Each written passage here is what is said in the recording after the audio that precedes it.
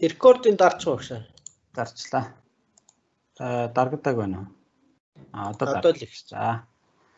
За би скрин шеэр хийгдсэн байгаа тий.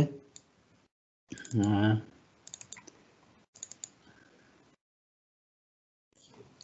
Скрин шеэр хийгдэг байгаа багшаа. Игдэг байна. За би тэгвэл одоо юугаал яагаадах юм. Эхлээ слайдаа шеэрлж та. За. За слайд шеэрлэгдсэн. Томороо шеэрлэгдсэн байна уу? Тийм байна. Full screen mode байна. За. За тэгээд би энэ дээр За Word-ыг зөв ашиглах нэ гэдэг. Яг хөө бид нар бол ашиглаж байгаа хангалттай сайн ашиглаж байгаа. Гэтэ зарим багш нар маань одоо зөв ашиглахгүй байгаа тохиолдол байж магадгүй гэдэг үднээс зөвөр ингээд нэр өгч гисэн. За өнөөдөр кафений агуулга болохоор Word-ын тухай. За формат буюу стил одоо дизайн яаж үүсэх вэ? Бид нар одоо формат гэдээ яриад байдаг. А яг үндсэн ярь одоо ярих хэвээр юм нь юу гэхээр стайл буюу одоо дизайн гэх юм уу? Стил үүсэх талаар одоо жишээ нь ингээд англиар ч юм уу бид нар формат гэж ярих юм бол нөгөө тал маань ойлгохгүй. А бид нар стил word стил гэдээ ярих юм бол харин ойлгох бах. За тэгээд зураг хүснэгт томьёо дугаарлах. За энэ бол айгүй чухал асуудал. Яагаад тэгэхээр бид хэд ингээд тайлан майлаа янз бүрийн бичгтэр ингээд маш их зу- зураг оруулдаг. Тэгэл одоо гараараа зураг 1 2 3 гэж дугаарлаа явангууд голоор нэг зураг орох юм бол хоошоогоо бүх зургийн дугаар өөрчлөгдөх болдог ч юм уу. Маш их тийм тохиолдлууд үүдэг. За математик физикийн хувьд бол томьёог дугаарлах хэрэгтэй. Яагаад тэгэхээр тэр томьёог ашиглаж энэ томьёонд энэ томьёог орлуулбал гэх мэтээр явхад томьёо дугаарлах шаардлага гардаг. За ишлэл авах хэрэгтэй. Бид нар бол нөгөө эрдэм шинжилгээний нэг ясны эрдэм шинжилгээний ажилтан учраас ишлэл авах энэ соёлд бол суралцах хэрэгтэй. За дээрэс нь холбоос оруулах а боломжтой байна. Энийг бас сурах хэрэгтэй. За гарчиг зураг хүснэгт номзын жагсаалт үүсгэх ийм юу бол Word дээр байж юм. За бид нар бол ингээл гарчиг гэж байгаа л зарим багш нар бол ингээл өөрсдөө ингээл түүжчээл хуудасны түүгээл ингээл явдаг. За энэ бол айгүй тийм цаг авсан ажил болдог.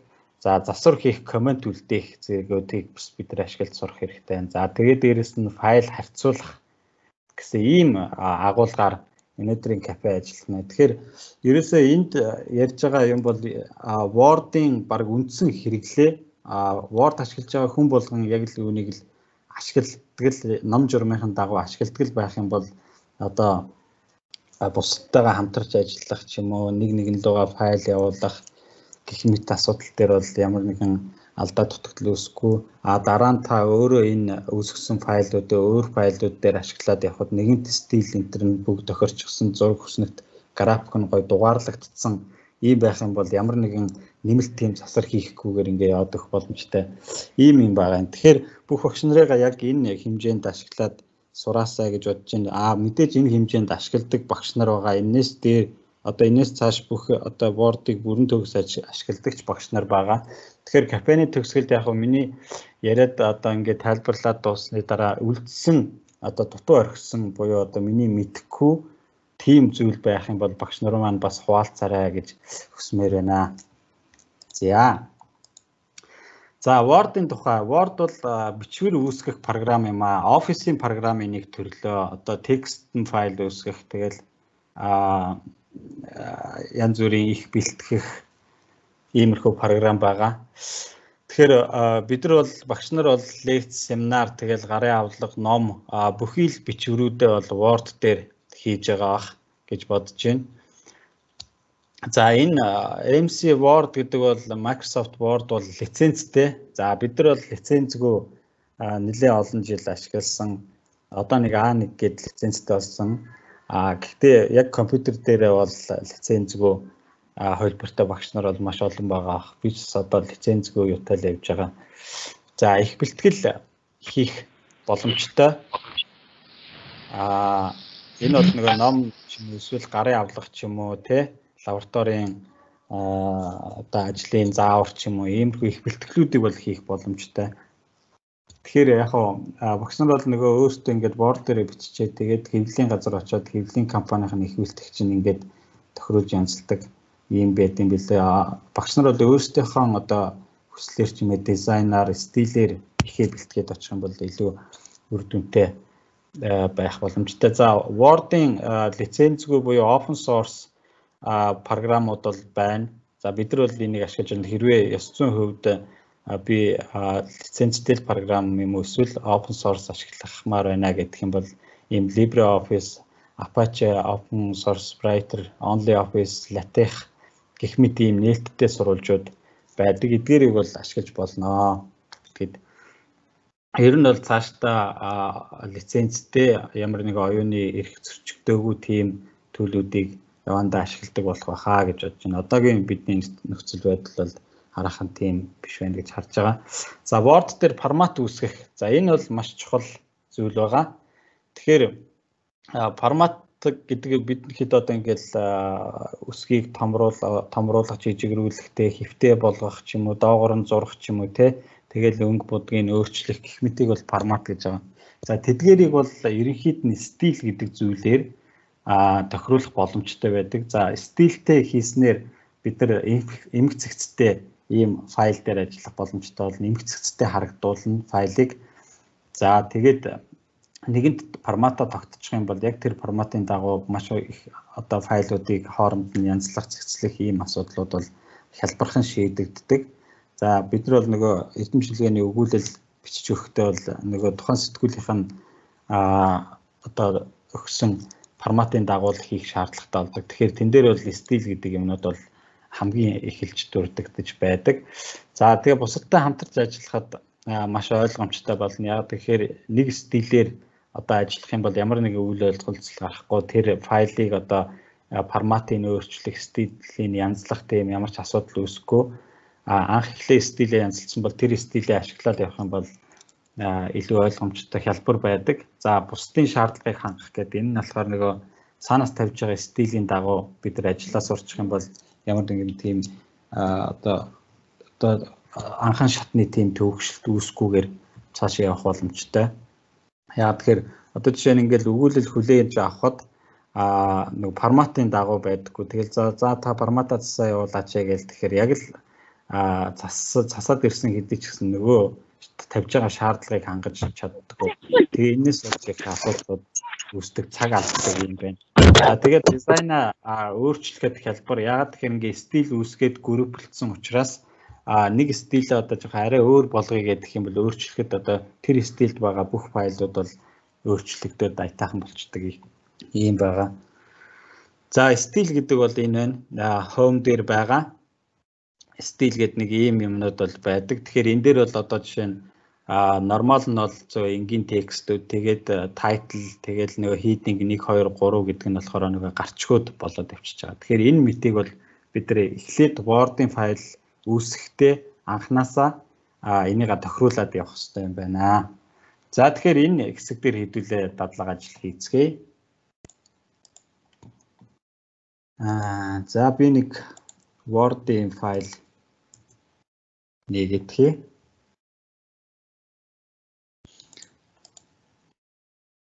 Тагд одоо юу харагдаж байна? За одоо яг та харагдаж байна. За аяар занагш харагдаж байна. За за би одоо Word-ийн файлыг шеэрлэтгэе. Эсвэл би зүгээр скрин шеэр хийж хагаад явцдаг ч юм аль нь ч амар юм тий. За ингээд за нэг юм Word-ийн файл байлаа. За эхлээд та бүхэн одоо шинээр ерөөсөө цоо шинээр формат үүсгэх гэж байгаа бол control A дарж агаад одоо энэ A буй clear all formatting гэдгийг дээр дарчиж болно. Тэгэх юм бол одоо энэ дээр байгаа бүх формат чинь арилна гэсэн. Янз бүрийн одоо хүмүүсийн янз бүрийн форматууд байна. Тэрийг ингээ арилгачих болно. За тэгээд стилээ бол одоо эндээс эхлээд файл эхлэхийн өмнө хоосон цаасан дээр одоо энэ дээр тохиргоо хийгдэнэ гэсэн үг л дээ. Өөрөөр хэлбэл энэ миний үүсгэж байгаа документ дотор а яг ямар ямар бүлэг хэсгүүд ямар ямар форматууд ашиглагдах юм бэ гэдгээ эхлээд өөрөө тодорхойлно гэсэн. Тэгэхээр мэдээж хамгийн эхлээд бол их текст байна тийм ээ. Их текстийг бол дандаа нормалаар явах хэрэгтэй. Тэгээд э, тэн дээр би арай хурдан яваад шиг байна тий. Дараад modify гэж дарангууд одоо тохируулах хэсэг рүү орно гэсэн үг. Тэгээд энэ дээгүрх юмнуудыг бол тохируулаад хэрэггүй яг энэ дээр ингээд дарах дараачийн форм одоо параграфыг зааж өгнө гэсэн үг. Тэгэхээр их текст бол ингээд явж байгаад мэдээж дараачих нь бол ахаад их текст л байж таарч тийм үү. Тэгэхээр энийг бол нормалаар явьсан дээр. За энэ дээр бол формата буюу одоо фонто сонгоно. За ерөнхийдөө бол Arial, Times New Roman эсвэл одоо өөрийн форматаа ашиглаж болно. Багш нартаа нэг зүйл захихад Arial Mon-ыг битгий ашиглаж байгаагаа гэж захимаар байна. Arial Mon ч юм эсвэл Times New Roman, Mon энтер гэдэг байдаг чинь нэг Монгол фонтууд байдаг. Тэр форматуудыг битгий ашиглаж байгаараа. Ягаад тэгэхээр тэр форматууд одоо энэ Teams ч юм уу эсвэл OneDrive, SlideShare энтер рүү ороод ирэх юм бол тэр формат чинь танигдгаа байгаад эхэлдэг. За хоёрдугаарт тийм формат фонт суулгаагүй, Arial Mon энтер суулгаагүй компьютер дээр очихоор тэр чинь бүгд танигддаг. Тэгээ ерөнхийдөө бол Arial Mon-оос үүдэлтэй маш их асуудлууд үүсдэг. Фонт танихгүй асуудлууд үүсдэг. Тийм учраас аль болох Arial Mon битгий ашиглаж байгаараа зүгээр Arial яг энэ Word-ийн өөрсдийнх нь өгсөн энэ үндсэн фондууд буюу Arial Times нэр аман байдаг ч юм уу тиймэрхүү форматуудыг ашиглаж байгаарай. За энэ дээр бол ингээд Camry ашиглачээ. За тэгээ өсгийн өндөр бол хэд байх вэ гэдгээ өөрөө заана. За тэгээд урдаа зэрэгцгүй голдоо байх уу, хойдолтой зэрэгцгүй ингээд хоёр талтаа адилхан тэгш хэмтэй justify байх уу гэдгээ өөрөө сонгочно. За тэнгуүтээ энэ формат гэсэн лөө ороод paragraph гэж байгаа. За тэнгуүт paragraph дээр юу байх вэ гэхээр нөгөө уртлаас догол мөр авах уугүй юу гэдгийг чинь зааж өгнө. За тэгээд урдаа хэр зайтай байх юм. Би одоо энэ дээр 10 поинтын зайтай, ардаа бас 10 поинтын зайтай гэж заагаад өгчээ. За тэгээ мөр хооронд бол single байх уу? Single буюу ингээ шахсан байх уу? А эсвэл одоо ямар нэгэн хэмжээгээр а одоо хоорондоо зайтай байх уу гэдгийг энэ дээр ингээ заагаад өгчнөө. За тэгээ окей дарчна. За ингээд энэ бол ингээд яг үндсэн текст бол ингээд засагчнаа. За тэнгуү сая ингээд засагчлаа. За үндсэн текстээс гадна бидэрт мэдээж гарчиг байх хэвээр хам хамгийн том гарчиг буюу бүлгийн гарчиг байх хэвээр. Тэрийг бол ихэвчлэн хийдинг нэгээр хийн.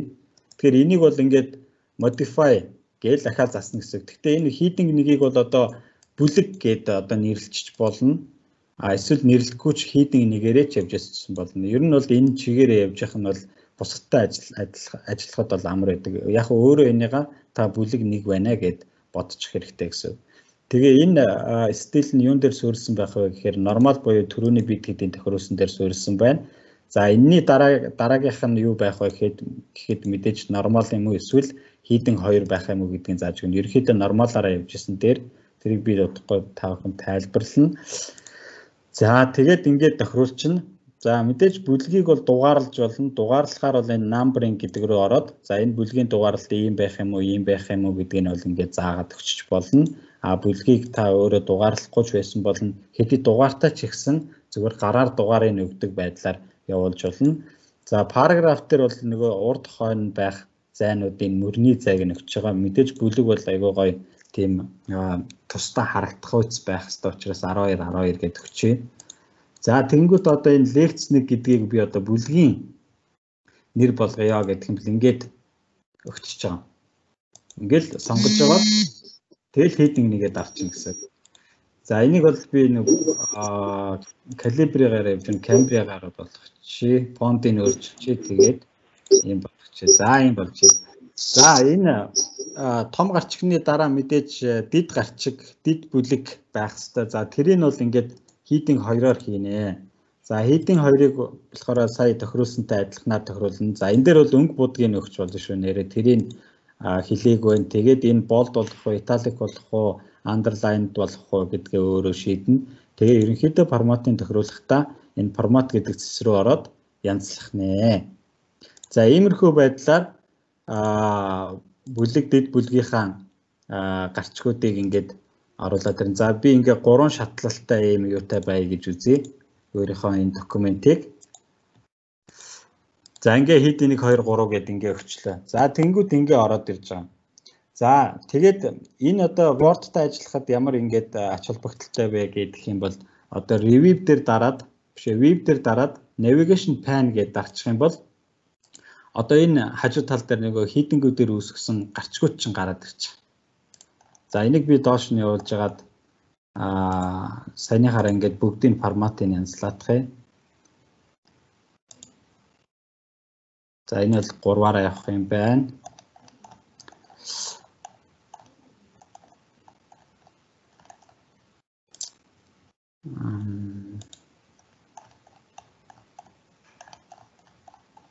За ингээд би нэг гарчгуудын үсгээ. За семинар гэдэг ингээд нэг том бүлэг гарч ирлээ. Бодлогын төрлүүд гэдэг хоёр дахь гарч ирлээ.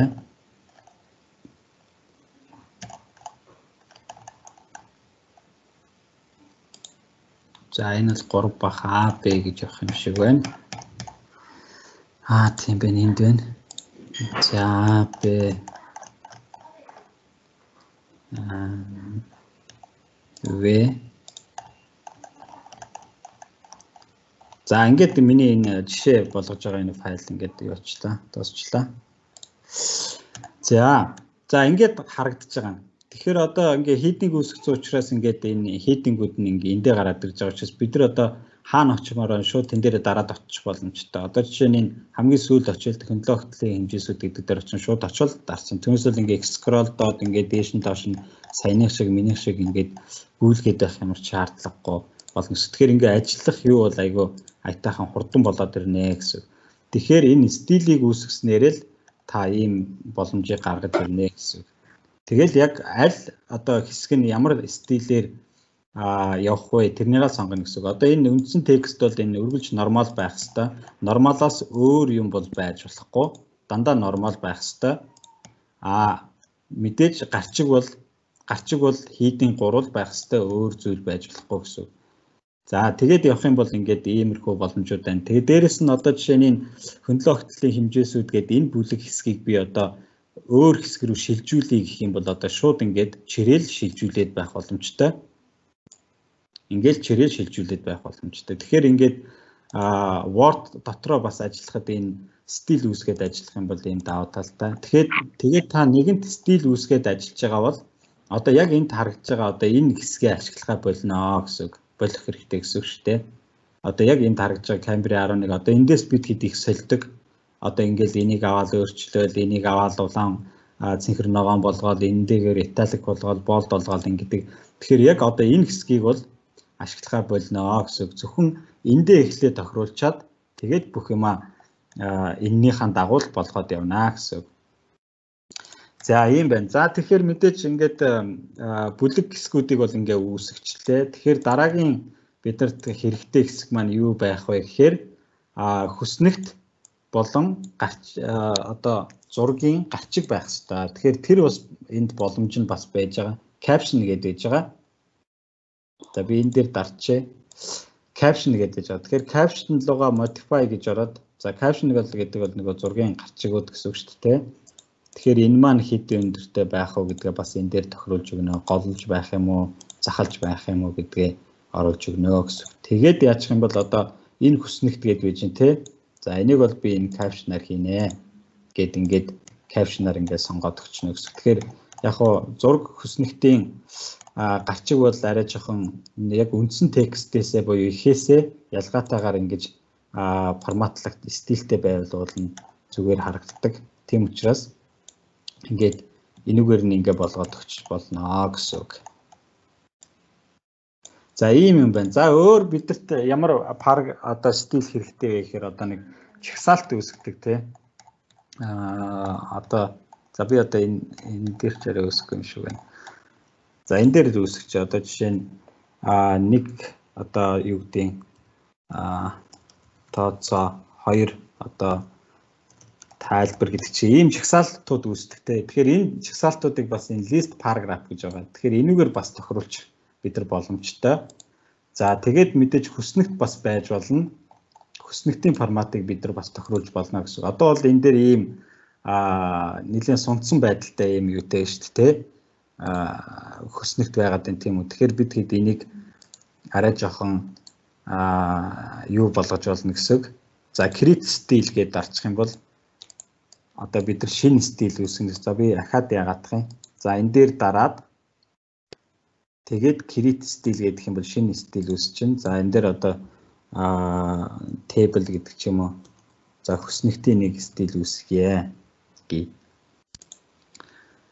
За тэгэнгүүтээ за нөгөөх маань тейбл гэж хаана орж ирж а энд ороод ирсэн байна те. Энийг аваад за энэ нь бол ингээд юугаараа нормалаараа энэ дараагийнх нь бол энэ бэжиг за нормал дээр үндэслсэн байг.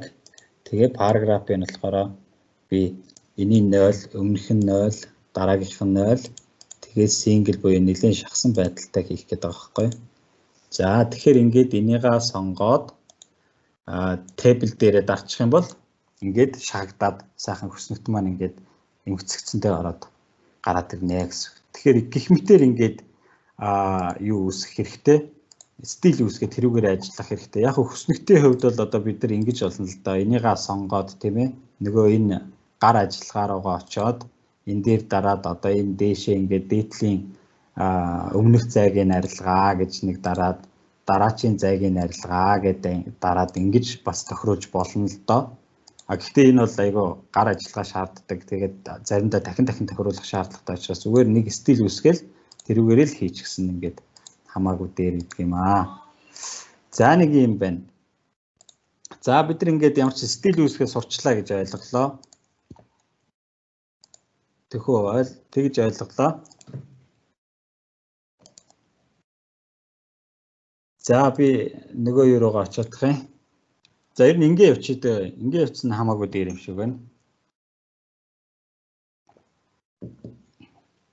За тэгэхээр дизайнаа өөрчлөхөд бол одоо түрүү нь одоо ингээд жишээ нь би одоо энэ нормалыг өөрчлөе л дээ тий. Нормал ингээд за дэндүү энэ хоорондын зай ойрхон байна. Энийг жоохон холдуулъя тий. Фонтын жоохон фонтын 12 болгоё гэдэг ч юм уу тий. Ингээд засвар хийнгүүд ингээд бүгд нэг зэрэг автоматар өөрчлөгдөнө.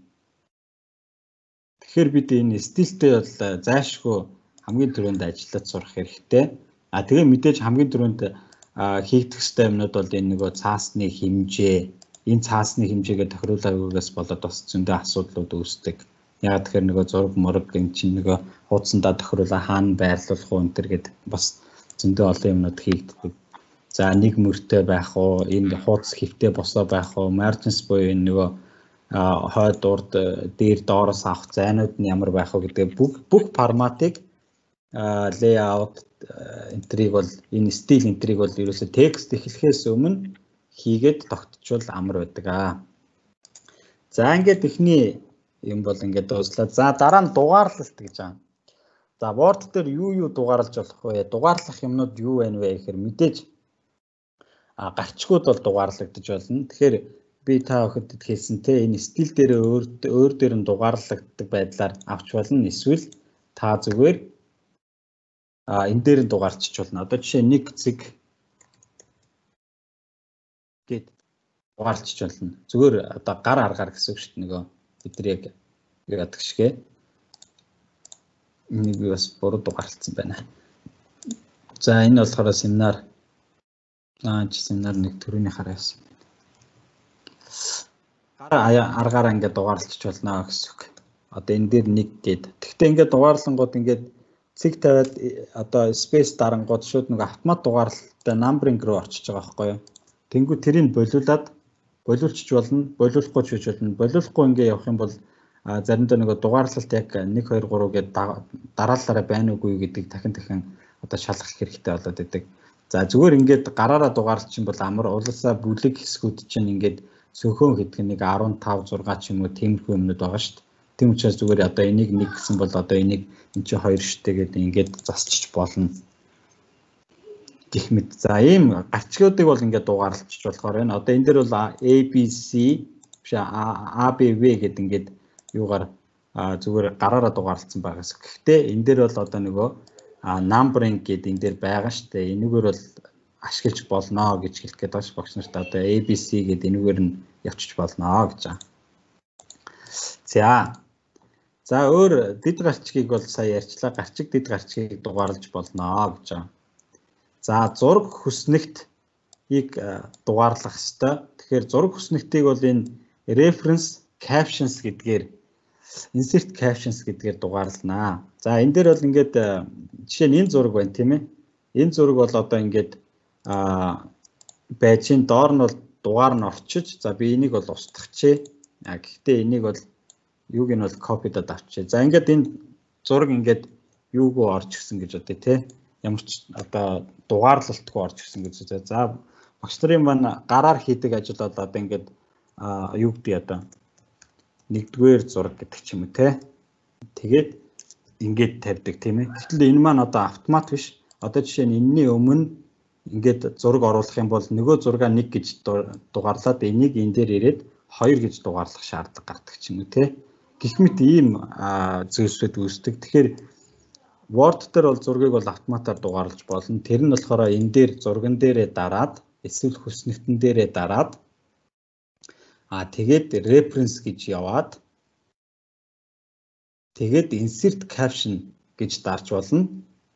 А тэнгууд дуусаа нөгөө Word-ын чи өөрийнх нь нөгөө юунууд байж чинь equation, figure, table гэдэг нь бол байж чинь нөгөө дугаарладаг юмнууд нь байж чинь дээрэс нь та бүхэн өөрсдийнхөө нэг зураг хавсралт хүснэгт тийм үүсэх юмнуудаа өөрөө үүсгэж болно гэсэн. Тэр нь болохоор энэ new label гэдээ байж байгаа.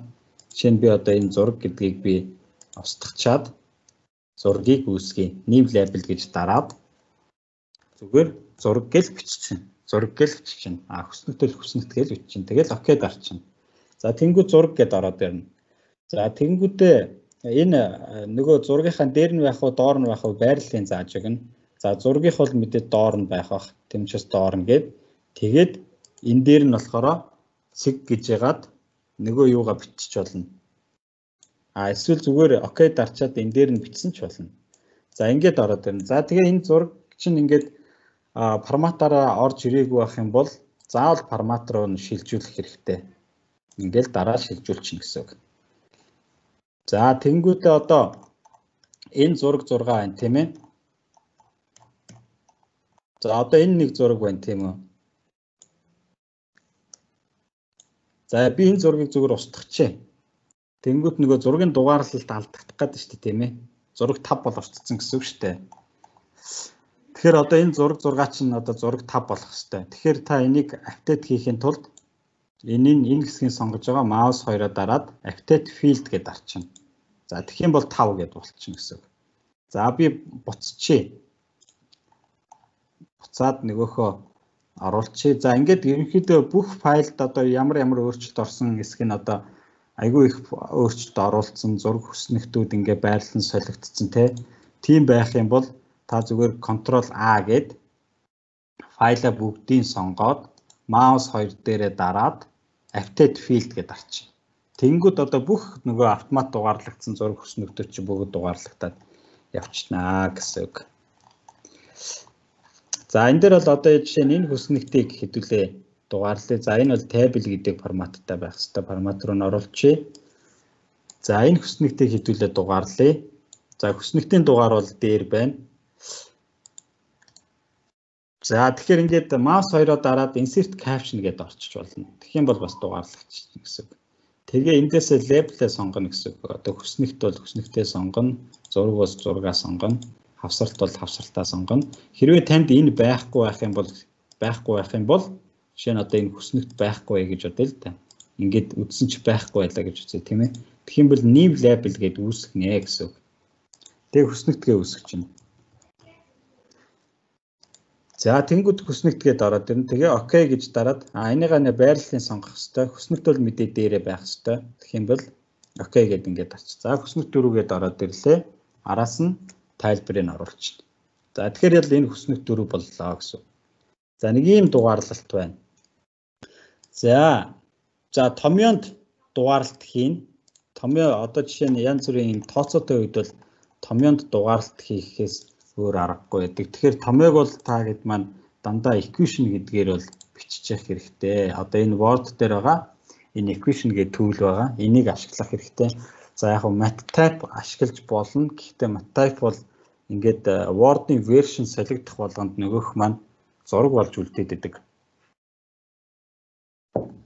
Өөрөөр хэлбэл одоо түрүү үеийн MATLAB дээр бичсэн томьёонууд бол зураг болчдөг өөрчлөгдөд тэгэхээр тэр зургийг бол бид нар засах боломжгүй болчихно гэсэн үг. А харин equation-ээр бичих юм бол та бүхэн equation-ыг бол Word-ийн ямар ч version-тэй байсан засаад яваад ах боломжтой. Тэгээд equation бол ялангуяа одоо ийм дээр дороо орсон те ийм жоохон өргөн зурвсанд бичигдэж байгаа томьёонуудыг бол аль болох тусдаа нэг мөрөнд бичих хэрэгтэй. Тэгэхгүй одоо жишээ нь i гэд энэ томьёог одоо энэний араас оруулчих л да.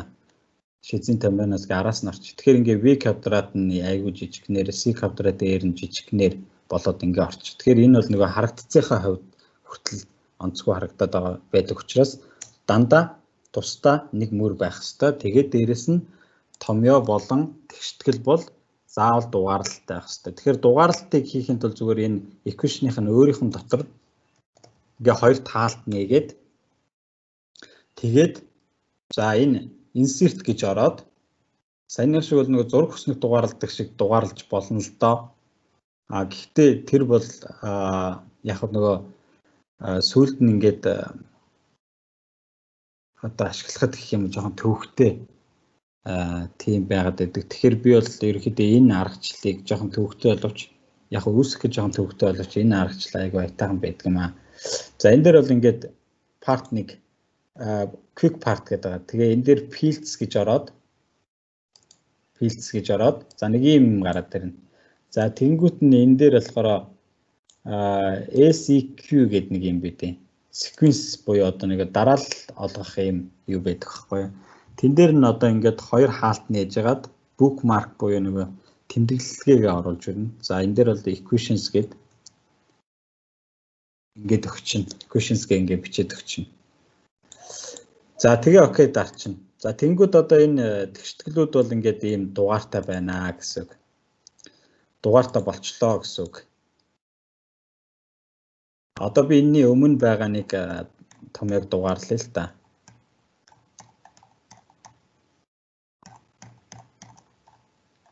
За би энийг дугаарлаж тий. Дугаарлах ёстой томьёонуудаа л дугаарлана гэсэн. Түүнээс бол ингээд дахин дахин тавтагдаад өгүүлбэр дунд ороод явж байгаа энэ бол дугаарлах шаардлагагүй. Дахиад ингээд insert quick parts гэж ороод fields гэж оронгуудаа энэ дээр дараад equations гэдээ орчих. За тэнгууд ингээд ороод ирж байгаа. Ахаад нэг гээд ороод ирсэн тийм ээ. Тэнгүүд нөгөө тал дээр бас нөгөөх маань бас нэг гээд ороод ирж байгаа. Тэнгүүд энийг яаж апдейт хийх вэ гэхээр За ингээд идэвхжүүлж байгаа апдейт field гингүүд 2 гээд ингээд гараад ирж байгаа. Гэх мэтээр ингээд дугаарлаад байх боломжтой.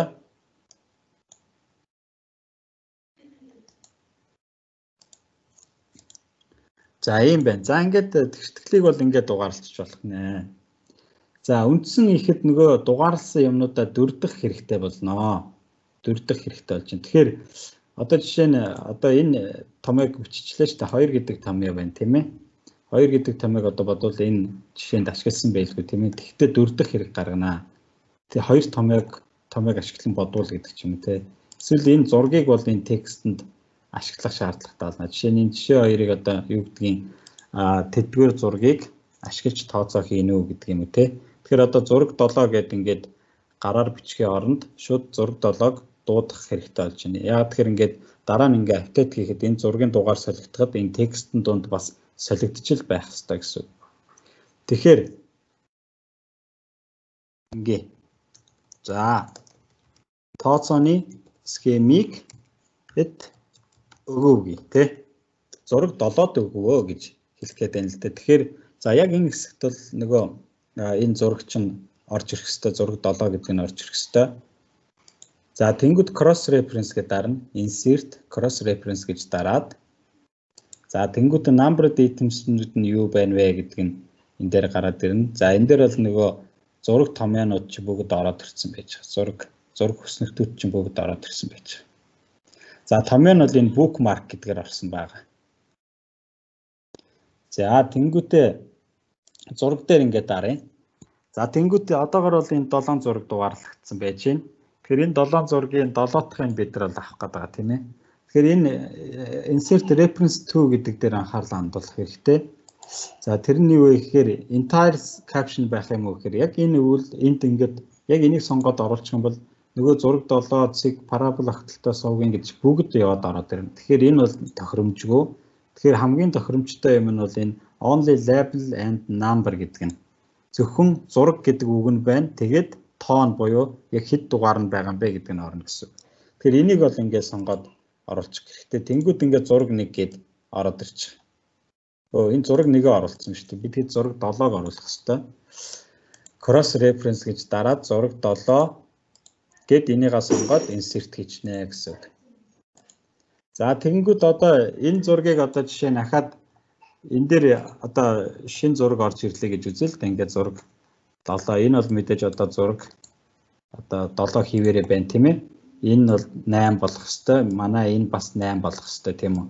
Тэгэхээр одоо энийг ингээд яг энэ хэсгийг ингэж байгаа л update field гингүүд зураг 8 зураг 8 гэдэг ингээд өөрчлөх чинь. Хөснөгтийн хувьд бас бас ялгаагүй тийм болно. За ийм байна. Гэх мэтэр ингээд одоо дугаарлсан зүйлсээ бол одоо юунд ашиглаад байх боломжтой. За дээрэс нь одоо энэ за хийдингүүд байж болно. Хийдингүүдийг бол ашиглаж болно.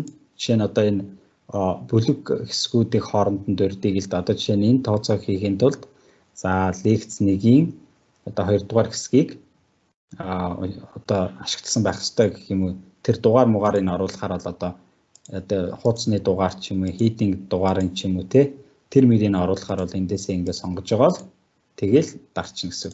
Тэгээд одоо энийг ингээд PDF болгочих тийм ээ. Word-ийнхаа файлыг бид нар PDF болгочих. Тэнгүүд одоо үзэж байгаа хүн зураг 8 дээр ингээд дарах юм бол нөгөө зураг 8 хаана байна гэд ингээд дарах юм бол нөгөөх нь гүүгээд очихно шүү дээ. Зураг 8 энд байна. Нөгөө хийдинг нэг хаана байна гэдэг нь хийдинг нэг дээр гүүгээд очино гэсэн. Ийм тохиргоонууд бол энэ дээр хийгддэг гэсэн. За тэгэхээр ингээд insert cross reference гэдэг нөгөө дугаарлсан зураг хүснэгтэй бүгдийн сайхан Word руугаа холбож өгөөд тэгээд явах нь байна. Тэгэхээр яг уу гэхээр Word бол илүү одоо уншууштай одоо ашиглууштай болж эхэлнэ гэсэн үг. Тэгэхгүйгээр одоо аа жишээ нь ингээд зураг дараах зурагт заав дээрх зурагт үзүүлүү гэд явдаг. Аа тэгэнгүүтээ одоо ахаад нэг дүрдэх хэрэгтэй болонгууд нөгөө зургаа юу гэж тайлбарлах вэ? Тэдгээр хуудсан дах зураг гэдэг ч юм уу. Тэгээ тайлбарлах гэхээр айгүй төвхтэй болж эхэлнэ. За ийм байна. За ишлэл авах. За энэ ишлэл авах бол айгүй чухал асуудал. За энэний доор нэг юм байгаа энийг би зүгээр харуулах юм. За ишлэл За Word-д э, ишлэл авах гэдэг бол бас айгүй чухал асуудал байдаг. За тэгээд ишлэл аавна гэдэг маань энэ зохиогч эрхийг хамгаалах хамгаалж байгаа асуудал байгаа. Тэгэхээр ямар материалыг ишлэл авах вэ? Ямар материалаас ишлэл авч болохгүй вэ гэдэг талаар бол бид нар энэ хичээлээр өмнөх хичээлээр бол үзсэн. Тэн дээр бол одоо шууд авч ашиглаж болох бүтээлүүд байна. Одоо энэ лицензитайхаа төрлүүдийг бидэд басан харж агаад тэгээд ишлэл авах хэрэгтэй. За а материал бол мэдээж их сурвалжтай байх хэвээр. Тэгэхээр одоо ямар ч өгүүлбэр одоо зураг хүснэгт байдаг юм уу бүгд бол их сурвалжтай байх хэвээр. Тэгээд тэр их сурвалж нь бол номноос байна уу өгүүлэлээс байна уу а мэдээ сон сэтгүүлээс эсвэл вебсайтаас байна гэдэг бүх юм бол их сурвалжтай байх хэвээр. А тэр их сурвалжийг харснаар одоо хүн цаашаа дэлгэрүүлээд материалуудаа судлаад явах тийм бололцоог бас олгодог учраас их сурвалж байх хэвээр. А дээрэс нь ерөөсөө юу бол өгүүлбэр ч юм уу одоо бидний бичиж байгаа боловсруулж байгаа Word файл маань дотроо маш олон их сурвалжуудтай байна мэдээж.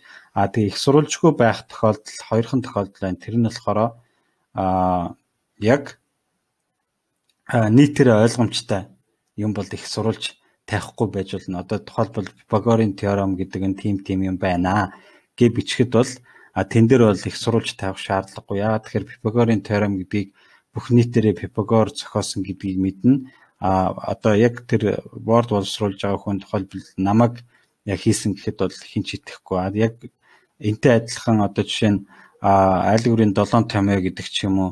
За энийг бол мэдээж би зохиосон гэдэг юм бол хин ч итгэхгүй. Энийг бол аль дээр хүн зохиочихсон байдаг гэдэг утгаараа а нийт нийтээрээ мэддэг ойлгомжтой тим юмн дээр бол ишлэл авахгүй. Тухайлбал одоо цэцэг бол ургамал юмаа гэдэг ч юм уу. Иймэрхүү өгүүлбэрүүд дээр бол их сурал заавал дурдаад байхаа одоо байхгүй байж болно гэсэн үг. А нөгөө нэг тохиолдол нь юу вэ гэхээр таны бичсэн таны таны оюун ухаанаар одоо боловсруулагдсан тийм үг өгүүлбэр байх юм бол тэн дээр их сурвалж тавихгүй байж болно. А тэгэд хүн ингээд материал уншаа явж байхад одоо их сурвалжтай юм байх юм бол за ямар ч хэсэн энэ өгүүлбэр бол ийм их сурвалжаас сэтэл авсан юм байна. Эсвэл тийм их сурвалж дээр байсан өгүүлбэрийг өөрчлөөд ийш нь оруулчихжээ гэсэн утгаар ойлгоно. А их сурвалж байхгүй тэгээд нийтээрээ мэдэх зүйл биш байх юм бол за энэ бол яг энэ хүний одоо хийсэн одоо хөв нэмэр оруулж байгаа зүйл байна гэж ойлгох нь. Тэгэхээр бол их сурвалжийг бол заавал тавих ёстой а их сурвалж тавихгүй юм бол таны бүтээл эсвэл нийтээрээ ойлгомжтой юм юм дээр л их сурвалж тавихгүй байх байх юм байна. Тэгэхээр өгүүлбэр болгоны ард параграф болгоны ард бол их сурвалжуудыг тавих хэрэгтэй. За их сурвалжийг тавьж өгснөөрөө та одоо өөрийн хөв нэмрээ тодруулж өгнө гэсэн үг. Өөрөөр хэлбэл энэ хэсэг бол хүнээс авсан, а энэ хэсэг бол миний одоо оруулж байгаа хөв нэмрээ гэдгээ тодруулж өгнө гэсэн. А тэгээд их сурвалжийг тавьж ишлэл авснараа бид нар оюуны хулгаагаас зайлсхийх ялангуяа шүтээсийн багш нар бол энэ академик төвшний хүмүүс учраас янз бүрийн плажеризм буюу энэ оюутны хулгаанаас зайлсхийж хийж явах хэрэгтэй. Өөрөөр хэлбэл та одоо хүний хийсэн юмыг ёс зүйтэйгээр одоо өөрийнхөө бүтээлд ашиглаад явах хэрэгтэй. Харин таны хийснийг өөр хүн бол ингээд ёс зүйтэйгээр ашиглаа явнаа гэсэн үг. За ингээд их сурулж одоо альва юм дээр их сурулж аваад ишлэл аваад явах нь бол нэг төрлийн бичгийн соёл энэ академик соёл байгаа. Тэгэхээр энийг бол бид хэд бол ашиглах одоо юу гэх юм биелүүлж мөрдөж явж явах хэрэгтэй. За энэ ишлэл авч ингэж явснараа бид нар үлгэр дуурайл үзүүлнэ. Одоо бидний ингээд лекц семинар лаборатори материал дээр ингэ ишлэл авагдсан ингээд академик төвшөнд боловсруулагдсан байх юм бол тэрийг үзэж байгаа оюутнууд маань аа ийм одоо академик төвшний одоо юу гэдгийг баримтчиг бол ийм байд юм байна ингэж ишлэл одоогүй юм юм байна гэх мэтэр ингээ үлгэр дуурайл аваад цаашаа ингээд үлгэрлээд явах ийм болцоотой. За ишлэл авахд бол insert station эсвэл keynote гэсэн байдлаар авч болно. Insert station болохоор шууд нөгөө их сурвалжийг нь оруулж өгнө оруулж өгöd тэгээд номын хамгийн одоо юу гэдэг материалын хамгийн төгсгөлд ном зүй үүсгэхэд бол ашиглагддаг. За insert keynote гэдэг аваа явуучих юм бол зөвхөн одоо тухайн хуудсан дээр л тэмдэглэгдээ явна гэсэн. Тэгэхээр ишлэл авах ийм хоёр янзын тохиолдол байгаа. Энэ нь бол нэг цаанаасаа одоо юу гэдгийг одоо цаад журам одоо юу гэдгийг цаанаасаа одоо шаардж байгаа шаардлагын дагуу л явна гэсэн. За хэдүүл одоо энэ дээр ишлэл авч үзье. За жишээ нь энд байгальд агаартай харьцаж буй усны урсгалын хөдөлгөөнийг судлах салбар шинжилх ухааныг задгай голдрлын гидравлик гинэ. За энэ өгүүлбэрийг би нэг газраас авчирсан гэж үзье. За тэгэх юм бол reference дээр дараад citation гээд за энэ дээр болохоор ингээд одоогор бол юм байхгүй. Add new source гэх юм бол шинэ их сурвалжийг оруулна гэсэн үг. За мөн та уулаасаа ингээд station ингээд оруулаад явж исэн бол одоо энэ manage source гэдэг дээр дарах юм бол таны өмнө нь ашиглаж исэн бүх юунууд бол байж байгаа. Их сурвалжууд бол байж байгаа гэсэн үг. Тэгэхээр тэндээсээ тэр маань ингээд нийт ингээ master list болоод ингээ үлдсэн байдаг. Тэгээ тэндээсээ бол аваад ашиглаж болно. Одоо жишээ нь ингээд энэ шүтээсийн янз бүрийн дөрвөн журмууд одоо өмнө би ашиглаж байсан учраас ингээд master list-д орсон байж идэг улсын хурлын одоо хуулиуд байна, татсан хуулиуд гэдэг ч юм уу те. За ийм зүйлүүд бол ингээд мастер листэнд байж байгаа учраас энд байгаа юмыг бол та шууд дуудаад оруулаад ирж болно. Жишээ нь энэ дээрээс за энэ энэ одоо юунд аа яс за энэ дээр би хайчи зүгээр нэг ном байх хэвээр утгарч гисэн автортай. За ингээд ийм ном байна. Аа ийм хоёр удаа ороод ирж за энийг ашиглана гэдэг юм бол ингээд ийшээ копи гэж оруулж ирээд Тэгээд тэнгүүд одоо энэ дээр ороод ирсэн байгаа. За ингээд ороод ирнэ. За нөгөө за ингээд нэг ороод ирж болж байна. За эсвэл бид хэд бичиж болно. За хахад master list-нээс харуулад за энийг харуулъя. За жишээ нь ингээд За иймэрхүү байдлаар ороод ирж байна. Энийг бол одоо жишээ нь бид хэд ямар их сурвалжаас авж ийн вэ гэдгийг бол бичиж болно. За тэрийг аа За ингээд add new source гэдэг юм бол за энэ дээр ингээ ном байж гин ингээд сэтгүүл байж гин а тайлан майлан янз бүрийн бүх юмнууд байж байгаа. За ишлэл авахдаа бол хэд хэдэн стилээр авч болноо. За тэрийг нь бол одоо энэ дээр байж гин MLAP гэж Chicago IE гэд ингээд ийм олон боловсролын апагаар авч болно. А Чикагогаар авч болно. Тэгэхээр энэ стилүүд маань бол одоо энэ дээр байж байгаа стайл гэдэг энд байж байна тийм ээ. Энэ дээр бол одоо Harvard-аар авч ш тийм ээ. Одоо апагаар авах уу, IE-гээр авах уу, эсвэл ийм юунуудаар авах уу гэдэг энэ стилүүд нь байж байгаа. За IE-гээр авъя гэдэг юм бол ингээд дугаар болчихно. Хин зохиосон хэдэн он зохиосон гэдэг нь бол мэддэхгүй зүгээр дугаар болчихно. Тэгээ энийг бол нөгөө ном зүйтэйгээ холбогдчихдаг. А хэрвээ харахыг хүсвэл ном зүй дээр очино гэсэн. За Harvard-ын нэг даваа тал нь юу вэ гэхээр хин ямар хүмүүс хэдэн онд хийсэн бэ гэдгийг ингээд харчиж болно гэсэн. За За тэгээд хоёр дахь өгүүлбэр дээр нь одоо жишээ нь дараах төрлийн шигний урсгал ажиглагдаж болно гэдэг дээр би шинээр үүсгэе. За тэгэх юм бол add new source гээд за энэ нь report байх юм уу, ном байх юм уу, номын хэсэг байх юм уу, өгүүлэл байх юм уу, тэ а одоо давтамжтай гардаг артикл байх юм уу, а одоо хурлын эмхтгэл байх юм уу, вебсайт байх юм уу гэд бүх төрлийн их сурвалжууд байж. Тэгэхээр бүх төрлийн их сурвалжийг бол та дурдах боломжтой. За ингээд би одоо бичээ. За Батторж гэдэг автортай таслал тавиад овгийн тавьж болно. За тэгээ 2 3 автор байх юм бол цэг таслал тавиад одоо ингээд араас нь бичнэ гэсэн дээ. Хэн нэгэн гэ бичнэ. Зохиогч нь энэ байна. За ном нь юу юм бэ гэх юм бол одоо осны номын нэр нь барилга байгууламж гэдэг ном байя гэж тийм. За хэдэн онд хэвлэгдсэн? 2014 онд хэвлэгдсэн. Хаана хэвлэгдсэн? Улаанбаатарт хэвлэгдсэн. Хин хэвлсэн?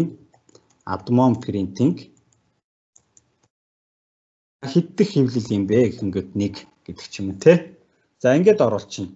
За тэгэнгүүт ингээ ороод ирнэ. За энийга жишээ нь ингээ буруу оруулчлаа гэж бодож байгаа юм бол ингээд энэ дээр дарж байгаа edit source гэдэг За нөгөө сая би энэ хин нэгэн гэснээр арилгачих. За ингээд засч болно. Тэгээ yes гэж болно. За юм байна. За ерөнхийдөө хугацаагаа жоохон шахахгүй бол болохоо гэж байна тий. Тэгээд station буюу ишлэл авахын тулд энэ EndNote, Google Scholar ч юм уу мэдлэгэүүдийг ашиглаж болно. Жишээ нь би энэ дээр Google Scholar-ыг ашиглая одоо би саяныхаар бол одоо ямар бохоо одоо хин хизээ ямар хэвлэлд яасан юм бэ гэдгийг одоо ашиглая гэдэг. Тэгэх юм бол одоо жишээ нь за зүгээр л нэг ингээд тай те. За ийм үр дүнгууд гарч ирнэ. За тэнгуут нь ингээд сайт гэдэг энэ нэг ийм товч байгаа. Энэ дээр дарангууд одоо MLA-ээр авал юм байна, Апагаар явал юм байна, Чикаго бол юм байна, Harvard бол юм байна, Vancouver бол юм байна гэдэг ингээ мэдээлэл нээж байгаа. Тэгэхээр эндээс одоо эхлээд ингээ нэрүүдийг хуулж авч тавиа дараа нь оныг хуулж тавьч тавиад ингээд ингээд үүсгэх нь байна. За дараачих нь болохоор жагсаалт үүсгэх гэдэг байгаа. За энэ дээр бол мэдээж дугаарлсан юмнуудаар бүгднгээр нь жагсаалт үүсгэх боломжтой. Гарчиг үүсгэн зураг хүснэгтийн жагсаалт үүсгэн энэ дээр харагдчих шиг ном зүй үүсгэнэ. За одоо би тэрийг үүсгэтгэе. За энд үүсгэе.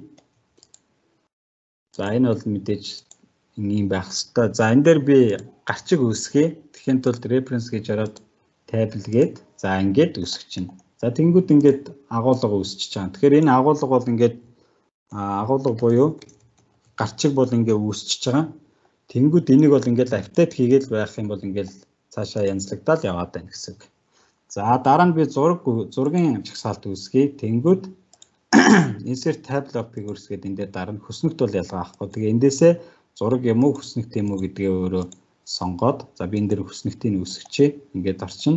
За энэ дээр болохоор хүснэгтийн чагсаалт гэд нэрлэж болно. За тэгээ энэ мэдээж гарчиг учраас энийг бол хийдэн хоёроор тавьдаг юм. Ингээд за ингээд чагсаалтууд үүсгэн. За хамгийн сүүлд нь ном зүг автоматар үүсгэн. За тэгхийн тулд reference гээд энэ дээр bibliography гэдэг дээр дараад за ингээ ном зүг үүсгэж байгаа. Тэгэхээр одоо би тэгэхэд бол энэ а ном зүй буюу ашигласан материалыг бол одоо гараараа хуулж тавих цаг бол өнгөрсөн гэсэн. Өөрөөр хэлбэл энэ Word-ийн өөрийнх нь өгсөн боломжийг citation хийгээд дээрэс нь ном зөвшлөл аваад давхар ном зүгээ ингээд үүсгэж боломжтой. Тэгэхээр энэ таны Word-д ашигласан бүх юунууд ч одоо ном зүгээрээ ингээд ороод ирнэ яг нөгөө Harvard-ийнхаа стилээр Harvard-ийнхаа стилээр ингээд ороод ирчих. Тэгээ англи монголоор нь ялгахад ялгаж болно. А гэхдээ тэрэнд бол механик ажиллагаанууд орно. Одоо манай энэ шүтээсийн эрдэм шинжилгээний өгүүлэл дээр тэгээ ялгана гэдэг байгаа. Тэр бол нөгөө Word дээр байдгүй тийм а одоо чадваруудыг шаардсан юмнууд байгаа. Тэгэхээр энийг бол одоо тэрийгээр болгохын тулд хамгийн сүүлд нь энийг копи гоотой зүгээр энгийн текст болгож англи монголоор нь ялгаад юм тэгж өгөх боломжтой гэсэн. Тэгэхээр манай тэр нөгөө эзэмшилгээний өгүүлэл эмгэгдэж байгаа тэр хүмүүс маань формата бас энэ Word-ийн боломж болцсон дээр үндэслэж яах хэрэгтэй. Одоо жишээ нь энэ хүснэгт график зургийг бол нэгдүгээр хүснэгт тэгээд хойдолтой яана яасан ч гэлээд бас л айгүй хэцүү тийм форматууд дандаа гар ажиллагаа шаардсан форматууд нэг хийдэг. Тэрийг бол болох хэрэгтэй. За засвар хийх сүүлийн хэсэг рүү орж байна. За энэ дээр бол засвар хийхэд бол нөгөө яг Word дээр өөр дээр нөхсөн боломжууд байгаа. Тэр нь бол review гэдэг tool байгаа. Энэ review бол ерөнхийдөө засвар хийхэд шаардлагатай бүх юмнууд байж байгаа. За одоо та хүний файл дээр ажиллаж байна гэж үзээд засвар хийя. Тэгэх юм бол энэ track change гэдэг дээр track changes гэдгийг сонгоод за тэгэд одоо засвар хийнэ гэсэн. Одоо жишээ нь ааш одоо буюу те а гүнийг гэдэг ч юм уу ингээд засвар хийнэ гэсэн үг. Тэгэхээр одоо энэ дээр ингээд засвар нь хийгдсэн ингээ харагч чинь ямар засвар хийгдсэн бэ гэдгийг одоо ингээд харж болно гэсэн үг. За хэрвээ та энэ засварыг одоо хүлээн зөвшөөрчих юм бол accept хийн. А хүлээн зөвшөөрөхгүй байх юм бол reject хийн гэсэн үг. За reject хийх юм бол нөгөө хуучныхаараа очиж За хүлийн зөвшөөрөөд accept хийх юм бол сая засснараа болчихно гэсэн үг. За тэгээд би одоо энийг зассан шүү гэдэг дээр ингээд комент үлдээж болно. зассан гэдэг ч юм уу те комент үлдээчих болно. За тэгэх юм бол нөгөө хүн чинь ингээд комментиг ингээд next next гэж яваад комментүүд өгсөж чинь. За энэ комментиг үзээд окей окей гэх юм бол энэ комментиг устгахчих болно. Тэгэх юм бол ингээ гараа авчнаа. За ийм засваруудыг одоо энэ зураг дээр бол харагдаж байгаа шиг ингээд ийм засварууд хийгээ явуучих юм бол ядаж нөгөө үзэж байгаа хүмүүс маань бас суралцсан. Аа ингэж яах хэрэгтэй юм биш үү? Аа энэ чинь одоо ингэж байдаг юм биш үү? Гэх мэт ийм юмнууд байна. За бусад та өөрөө засж байгаа бол мэдээж өөрөө өөртөө юу засснаа харуулах бол шаардлагагүй. Тэм учраас зүгээр л track change гэдгээ болиулаад болиулаад тэгэл одоо энэ дээр ингээл засваруудаа ингээл хийгээл явчихна гэсэн үг та өөрөө юу засснаа явах бол хамаагүй. За хэрвээ яг та ингэж засчаад одоо хүн лүү явуулчихъя гэж үзье. Тэгэх юм бол нөгөө хүн чинь таны юу зассныг ингээд харахад бол маш төвөгтэй. Яагаад тэгэхээр ингээд бүгд л адилхан форматтай нөгөө яг энүүгээр одоо ингээд хүмүүс чинь ингээд засснаа улаан болгоо эсвэл ингээд арилгаснаа дундуур нь зураад явуулцдаг. Тэгээд тэгээгүй л тохиолдолд бол аль нь засны л мэдэх боломжгүй. Тэгэх тохиолдолд танд өөрт чинь бол оригинал файл чинь байгаа. За нөгөө хүнээс бол зассан файл ярьж байгаа. Тэгэхээр энэ review new comment гэдэг дээр та аа биш ээ энэ байна. Аа compare review compare гэдэг зүйлээр та хоёр файлыг хооронд нь ч юм эсвэл гурван файлыг хооронд нь зэрэгцүүлээд аль аль засварууд хийгдэж вэ? Алийг авах уу, алийг хасах уу гэдгийг шийдээд явах боломжтой. За би тэрийг харуулъя. За энэ дээр болохоор ингээд review гэж ороод compare гэж ороод За compare гэж энэ хоёр документыг харьцуулъя. За эхнийх дээр нь болохоор оригинал документыг оруулнаа. За би оригинал документын дуу датах юм.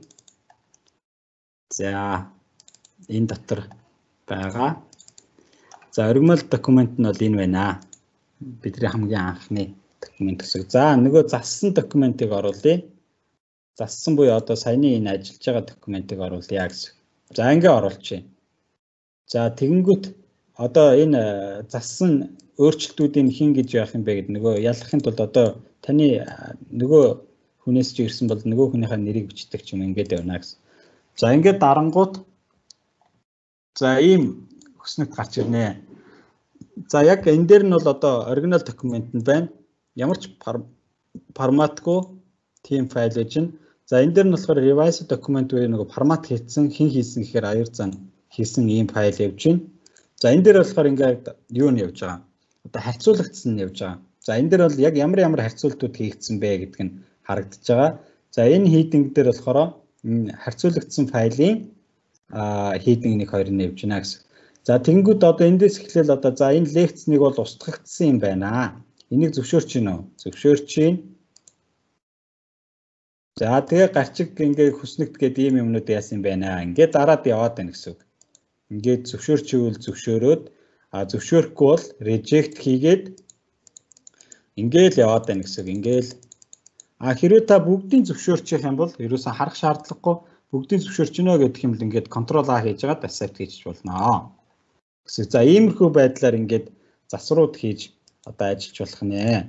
За ийм байна. Тэгээд 2 цаг болчиж За хамгийн сүүлийнх нь юу байна вэ гэхээр за иймэрхүү зүйлс бол одоо а wording бол үндсэн хэрэглээ юм а ингээд хэрэглээ сурчих юм бол бид хэд бид хэд ингээ хамтраа цаашаа ажиллахад нэлээд асуудал болно. За Teams дээр ингээд Word-ууд одоо файлуудаа бүгдийг ингээ шеэрлээд хооронд дундаа тавиад ингээ ажиллаж хийж болж байна. За энэ тохиолдолд яг хөө бид хэд нөгөө шууд ингээд а файлсаа ингээд шууд ингээд нээж болно энэ дээр нь шууд ингээд нээчж болно. За шууд нээгээд одоо засвар хийж болно тийм ээ. За тэрнээс гадна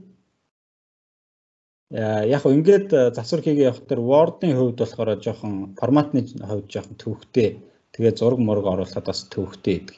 Тийм учраас энэ гурван цэг дээр дараад open гээд open гэж дараад Open in app гэдэг юм бол таны компьютер дээр байгаа Word-ыг эсвэл PowerPoint-ыг ашиглаад энэ ажилтнаа гэсэн. Тэгэхээр таны ингээд э, PowerPoint дээр нэгт чинь яг таны юу програм одоо юун дээр байгаа юм шиг нэгт чинь тэгэнгүүтээ яг хийсэн засварууд нь болохоор нөгөө шеэрлэгдэж байгаа энэ Teams дотор байгаа файл руу чинь ингээд ороод байна гэсэн. Тэгэхээр одоо энэ дээр ингээд ажиллах юм бол одоо энэ дээр share гэдэг дээр нь ингээд дарах юм бол энд одоо ажиллаж байгаа хүмүүсийн юунод мэдээлэлүүд гараад ирнэ тэгээд хүмүүстэйгээ юу юу харьцуу яах вэ гэдгээ яриад яваад авах боломжтой. Яг энэ нөгөө PowerPoint-ийн хувьд харуулж байгаа боловч Word-ийн хувьд бас яг адилхан гэсэн үг. За ийм ийм боломжууд байна. Тэгээд ерөнхийдөө дуусч байна. Багш нарт маань асуулт байна уу? Цаг баг. За сайн байна уу? Их сайхан хичээл залаа би геолог болгоны сургуулийн оюун төгс багш байна. Аа их сайхан юм одоо бас Word-ыг бас бүрэн гүйцэд мэддэггүй юм бэ зөндөө юм мэдчих авлаа. Надад нэг ганц асуулт байна. Одоо ингээд бид нар номын их бэлдээ явж итэл ингээд манай хүснэгтүүд маань юу хуудсууд маань дандаа босоо явж илаа штэ. Гэтэл нэг айгууд ингээд нэг том зураг юм уу том хүснэгт ингээд хүндлэнгөөр хийх болдог байхгүй. Яг нэг одоо юу гэдэг нэг 100 хуудас дотор нэг ганц хуудсыг хүндлэнгөөр оруулах болдог. Тэгээ дараагийн хуудас нь буцаад босоогоор явах болдог. Тэг энийг би ерөөсөө хийж байхгүй. Тэрийг нэг хэлээд өгөө. Тэрийг бол та одоо ингэн. Одоо ингээд за жишээ нь энэ хуудсыг л бид нар хэвтэй болгоё тийм ээ. Ааха. Энэ хуудсыг л хэвтэй болгоё. За тэгэх юм бол ингээ хуудсныхаа хиндээ дарчих. Ер нь хуудас дээр л дарчин тий. Энэ курсороо дарчаад тэгээд layout гэж ороод За энэ page setup гэдэг нэг юм байгаа. Энэ дээр энэ доод доошоогоо нөгөө томоор гаргадаг цэсэн дээр нь дараад За тэгээд ийм байж ин те ингээ гараад ирнэ. Page setup гэ margins гэ гараад ирнэ. За одоо бол portrait босоо байгаа. Энийг би хэвтэй болгоно. Landscape болгочихъя. За ингээд ингэсэн тохиолдолд бол одоо энэ хуудснаас доош бүгд хэвтэй болчихж байгаа. Тэнгүүд бүгд бишээ А бүх бүх одоо энэ файл бол бүгдээрээ хэвтэй утастай болчихно. А тэгэнгүүт бүгд бишээ зөвхөн энээс хоошхыг хэвтэй болгоё гэдэг эхний удаадаа өгч чинь. За тэгэнгүүт энээс хоошх нь ингээд хэвтэй болчихно. Аа нэ. За энэ энэ нөхөр нь те. Энэ нөхрөөс хойш ингээд бүгд хэвтэй болчихж байгаа. Энэ хуудаснаас. За тэнгууд дараачийн хуудас нь хэвтэй биш ээ. Босоо. Гэх юм бол дахиад энэ дараачийн хуудсан дээрээ дараад тэгээд нөгөө page stop дээрээ дараад за энэ бол босоо байна. Тэгээд энэ this point forward гэдгийг сонгочихно. Аха. This section биш this point forward. А this section гэх юм бол зөвхөн энэ хуудасаа болгочихно гэсэн үг. А энэс хойш бүх хуудсууд босоо байна гэх юм бол this point forward гэдэг ингүүд За ингээ босоо болчихно. Тэгэнгүүт одоо ганц хэвтэй бусд нь босоо болчихноо гэсэн үг. За ингэж л тохируулна. Да миний мэдж байгаа арга л энэ байна. За баярлалаа. Тэр дахиад нэг ганцхан энэ Word-тай хамаагүй өөр PDF-тай хамаатай юм нэг ганц нэг асуучих жоох. Болно. Энэ бид нар одоо хичээлээ ингээд энэ LMS дээр чинь PDF-ээр оруулаад байгаа шүү дээ. Тий. А тэгээд тэр PDF-ийг одоо тэр оюутнууд хуулж аваад одоо юу гэдгийг буцааж ингэж нөө Word руу оруулдаггүй юу гэдэг юм хуулагддгүй тэгж яаж болгох юм бэ? Тэн дээр бол одоо энэ save as гэдэг одоо хэдүүлээ энийга яа да. Энэ дээр болдог шиг санагдаад байна.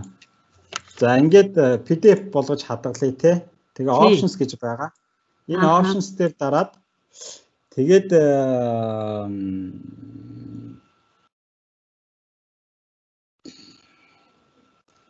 Аа наад пассвортыг өгчиж бас болох юм байна тий. Тэгээ оюутан пассворт яг энэ зүгээр нэгтэл пассворт нэх баха. Түүнээс бол нөгөө юу хамгаалалттай бол биш байх. Тэгэхээр зүгээр яг та ингэж яачаад PDF болгочоод аа тэнгүүтээ яг акробат байгаа тохиолдолд тэгж хувиргаж болох байх. Акробатаар бол а зүгээр акробат байхгүй учраас PDF reader-тэй учраас болохгүй. Яг зүгээр ийм онлайн юунууд байгаа л да. Онлайн төлөд байдгийн. Тийм аюур цан багш акробат дээр надах чинь болдго юм аа. А би холбоотой нэг юм асуучих.